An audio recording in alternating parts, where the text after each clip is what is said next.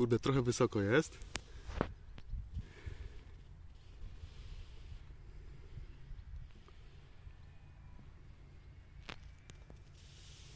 Troszeczkę za wysoko.